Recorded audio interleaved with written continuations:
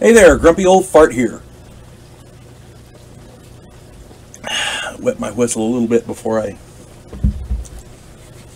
before I get started. Okay, uh, I'm doing Starfleet Battles Tactics videos because I, Starfleet Battles is a wonderful game. It's hours and hours of enjoyment, and it makes you smarter to play.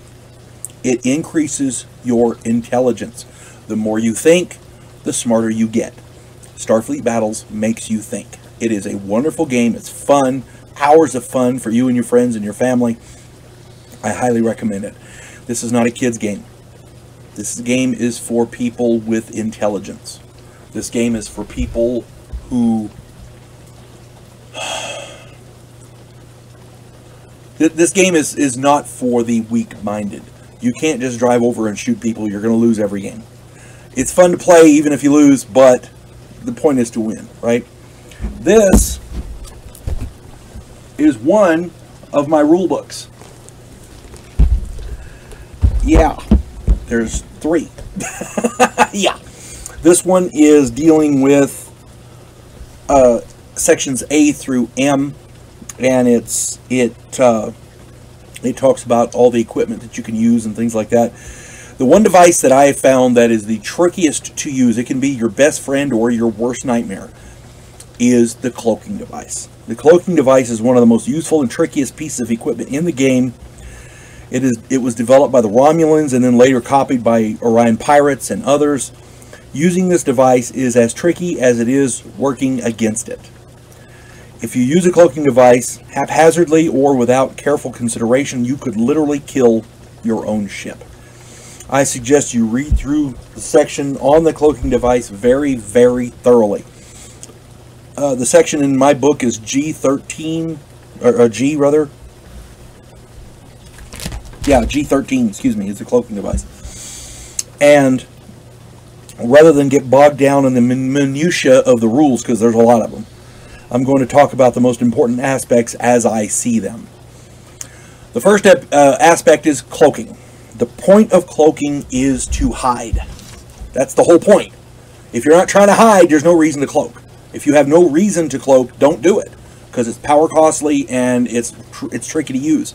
If you want to cloak and get away, that's fine. If you want to cloak and find a better way to attack, that's fine. If you want to cloak at the beginning of the game, that's what I normally do. But my point is, the point is to hide. G13.33 is a very important section. That's G13.33. Um, that deals with how to cloak and the procedure for cloaking with the fade in period and the fade out period and blah, blah, blah. G1333 is a very important section. Read that section twice or more.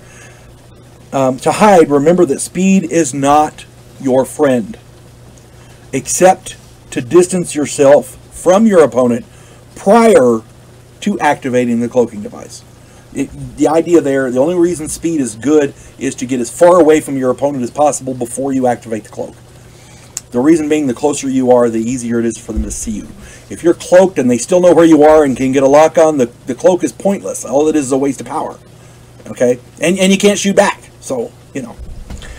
The three factors that will help you hide the most are slow speed, the slower the better, range, you want to get as far as possible, and electronic countermeasures, the defensive electronic warfare.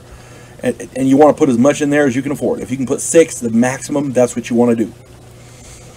For an example, at range 5, speed 3, with no ECM shift, the chance of somebody retaining a lock onto you and being able to shoot at you effectively is 1. So if they roll a d6 and get a 1, they can still shoot at you. They've got lock on.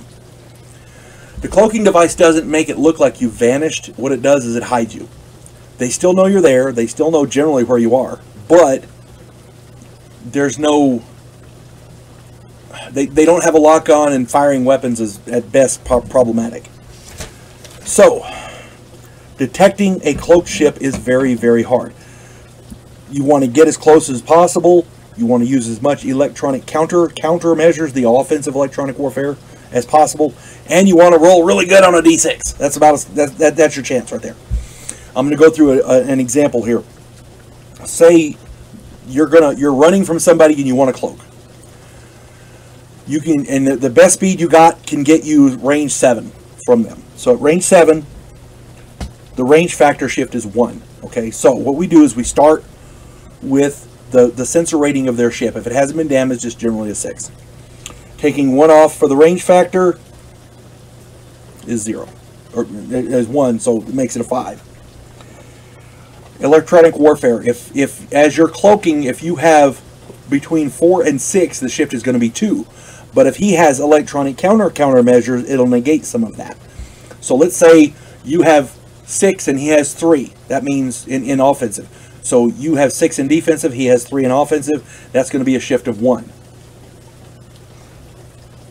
Now, you don't want to stay in one spot. You don't want to stay in the exact spot where you're cloaking. You want to be able to move at least a little bit. So say you're doing speed three. That will allow you a number of different hexes you could be in. They can't effectively plot where to transport transporter bombs or whatever. You want to be able to move a little bit. So now if you want to stay in the same hex as you're at while you cloak, speed zero will take two off of this. So it's effective. The problem is they know right where you are and they can transport a buttload of transporter bombs there and then you're screwed when you move, when you do move. So you want to be, be able to move a little bit. So say you want to move speed 3. That's going to be a shift of 0. So we're still at 4. Now the cloaking device, the effect of the cloaking device is to subtract 4 from that. So that's still 0. They have no chance to find you, to, to retain lock-on. That's pretty good. Okay. I was playing with my son the other day. He was running a Hydran, and I wanted to get away from this guy and I want to say he needed to roll a one or a two to retain lock on to me because I was I I had to, I I was I was going too fast the previous turn to slow down to zero or one or four, so I was doing like speed six I think, and the speed factor adjustment was one, and if it wasn't for that, yeah, he, he had to roll a one is what it was. Oh bugger rolled a one and pounded the crap out of me, and I couldn't do nothing about it. So it you know the cloaking device can be very useful it can also be very tricky because while he's shooting at me, I couldn't shoot back because I was cloaked. Um, in the previous example, the one that I gave earlier, uh, range 5, speed 3 with no electronic warfare shift, the chance was 1. Okay, now, if uh, if there was an ECCM shift of 2, so you didn't put anything in ECM, but he had 6 in ECCM, that's a shift to two in his favor. So that one becomes a three. He now has a 50-50 chance of retaining lock-on. See what I mean? It can be very, very tricky. And there's a formula here. It's on page 229 in my book. It's, I'm using the Doomsday Edition rules, uh, Silver Anniversary Master Rulebook. Um, and there's a there's a formula you use and all the stuff is there. All you got to do is plug the numbers into the formula depending on the situation, and it tells you the the the chance, the probability of retaining lock-on listed as P in the in the thing. Uh, so, as a matter of fact, I can show that to you right quick.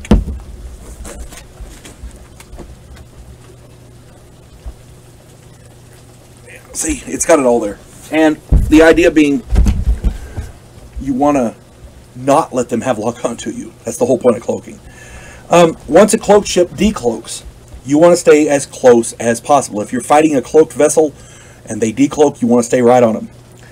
Uh, use as much ECCM as possible and pound him with whatever firepower you can. And I mean really pour it on. Uh, use staggered salvos after the initial alpha strike. The, the initial alpha strike drops the shield, and does some damage. After that, use staggered salvos. The reason being, you eliminate more weapons and power, which will keep him from cloaking. Excuse me. Um, you want you want to kill any cloaked vessel as soon as possible. And you want to keep note of the fade in, fade out period. There's a there's a point where he decloaks.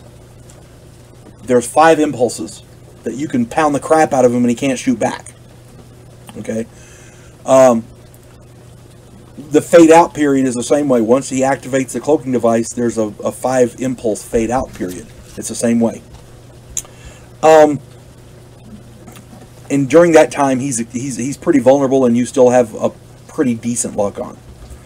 One last thing: not all ships cloak well. There are some ships that are designed to be used with the cloaking device. The Warbird, the War Eagle's not bad, but the Warbird specifically, it cloaks for one. It has six impulse, and one of its cloaks, so that's five more. You can only use one for movement, so you got four more to arm your plasma weapon or whatever, and you have six battery points. Now that's the Warbird. The Warbird Plus, you get three extra APR and some phasers and like that. But the that old impulse drive Warbird is what the cloak was desi originally designed for. So it's a it's a good ship, barring the fact that its maximum speed is one, and and you know, it's still a pretty good ship. Um, what you want to do is find find a ship that can cloak, maneuver, and arm weapons.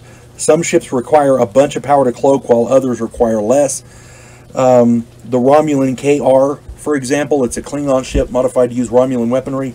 The Romulan KR has 30 warp and it requires 20 points of power to cloak. It's not a very effective cloaking device. Uh, it works, but again, you know, it's iffy. Um, what I do when I'm running that ship is because I have multiple plasma weapons to arm, I'll stay cloaked and try to time it so that on the third turn of arming of the plasma torpedoes, I can drop my cloak and divert that power directly to the to the plasma weapons, and that way I've got him. I can fire and blah blah blah. Because trying to stay cloaked and arm weapons and uh, some of these Romulan ships, the power curve isn't real good. I'm just saying. If you're if if the ship you're running cloaks for an expensive power cost, you may want to consider using it initially to gain a decisive strike and then refrain from using it. Uh, if you put power into a cloaking device and they still retain lock on, the cloak is useless and it's wasting power. If the cloaking device takes a lot of power, that's a lot of power wasted. Okay, I'm just saying. So read through the section carefully on cloaking devices, and if you get a chance to try them out, do so.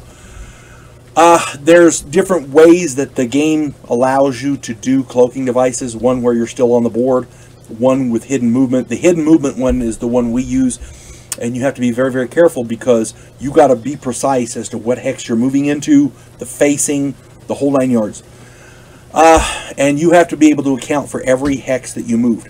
The reason me and and if you're using hidden movement, you generally have to have another player who's not playing, who can who knows where you are, and knows where the your enemy has dropped their mines and transporter bombs. That's the only way it can be fair.